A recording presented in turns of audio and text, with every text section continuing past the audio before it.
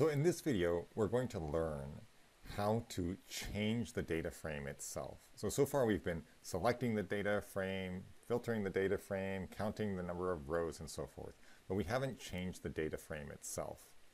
So here's how we change the data frame. We just select something and then we say equal what we want it to be. So let's run this code. So this is the original data frame. So I'm just printing it out so that we see it before the modification. Then we run this code, which sets student to 4 to 90, and we get this result. Okay, So you see that student number 4, everything has become 90. Now that's probably not what we meant to do. That's probably not a good idea, but I just wanted to show you that you can set an entire row by just saying, selecting the row and then equaling 90. And so now my df is going to be this new data frame. Okay. So if we want to change just one item of it, okay, then we have to specify both the row and the column. So let's take a look at that. Okay, so we're going to set student 3 right here, student number 3, the score is currently 76 and we're going to set it to 97. So here we set it to 97. Okay, and just remember here that loc here is index based. So we are using indices here like this and this. And iloc is integer based, right? So it'll, you specify the number of the row and the number of the column. Okay, so let's go ahead and reset here. So we have a clean uh, data set, da clean data frame. Now, we're going to return the third, the third row here, okay? So let's make sure that we've got that right. So it should be uh, the third row, 0, 1, 2, 3, science 72C fair. Okay, remember that it's zero based. Okay, if we wanted to return it as a data frame, we would put the double parentheses around it. And then here I just want to show you that the data types are different. This is a series and this is a data frame. If we want to return a range using iloc, we just put the range using the colon there, and we see the range here, 2, 3, 4. This does it to n minus 1, okay, which is different than the behavior of loc, okay? The behavior of loc will include the n.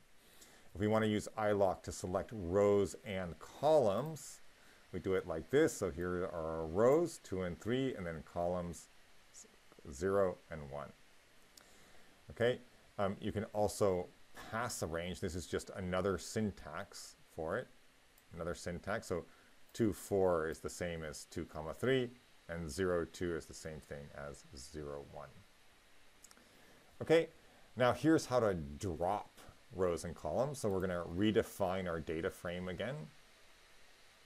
If we want to drop, we use this command, drop, and we're going to be dropping 1 and 4. Okay, we're going to be dropping 1 and 4. So let's go ahead and run it. Okay, so here you see 0, 2, 3, and 1 and 4 are gone. Okay, so this is how to drop rows 1 and 4. This index, okay, is now funny, right? It's no longer making sense, 0, 2, and 3. We can reset the index in place equals true means that we're going to change the data frame itself as opposed to returning a new data frame. So when we run this, we see that it, er, all of the data is the same, but we have a new index, 0, 1, and 2. And here's just the difference between in place equals true and it not being true, okay? So here we run it, and what happens here, we have mydf, this is the original thing. If we drop 1, 3, and 4, we just get 0 and 2.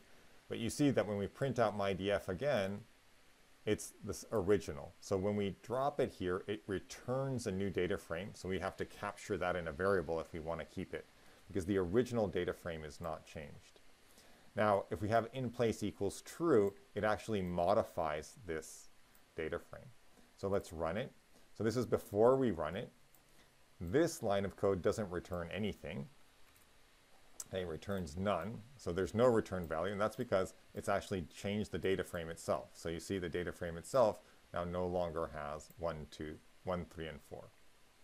Okay, so we've been talking about dropping rows. Let's drop columns. We'll start off by redefining it so that we have the original code.